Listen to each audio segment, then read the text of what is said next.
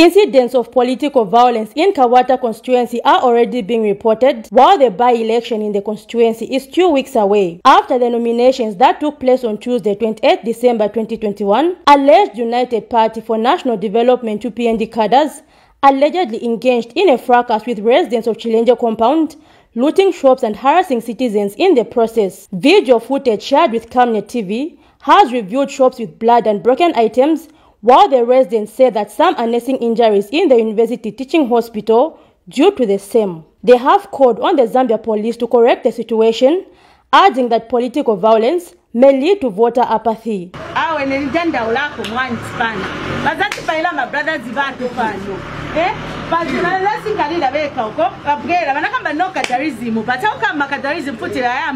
angala vati menyama brothers vatu pano. Uina ngai kuhospitoko tizangala bwanji? Oloku wenda vota dzakavota bwanji? Sakamba. Nokamba dzomumene na mabhoto mutu.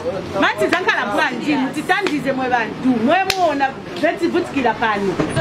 Tifuna kohewo panamba nokadavisi masizio venoambakochita kuno makadaivenzi vanambi apa stadium. Kumenya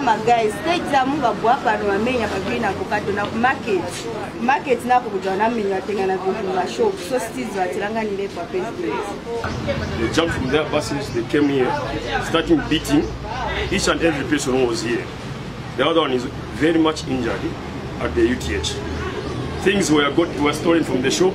Even the, the phone for the owner of the shop was stolen. Some um, crates of beer also stories. basi ya teatro yara mafu usiku kama mwe magaiz wabwira mwana bona mbere manje kubutumira mwana yego ya what we cause machete wanavala and what we saw nabatade apo abantu there was blood in the show and us you want to continue religion like this meanwhile UPND area councillor Mr. Ruben Mwenya in a phone interview explains that the fracas was as a result of political intolerance as some residents were flashing symbols of other political parties as the UPND convoy was passing by. He however asked that the party would talk to its members to desist from the vice. whatever whatever happened, it was very unfortunate.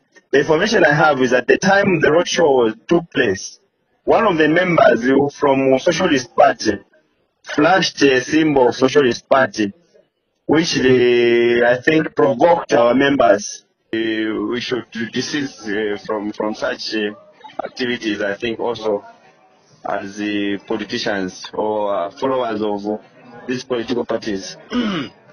When contacted over the matter, police spokesperson Mr. Rae Hamoonga has promised to follow the matter with Chilenje police station where it was reported. Zipora Mshala, Camnet News, le Saka.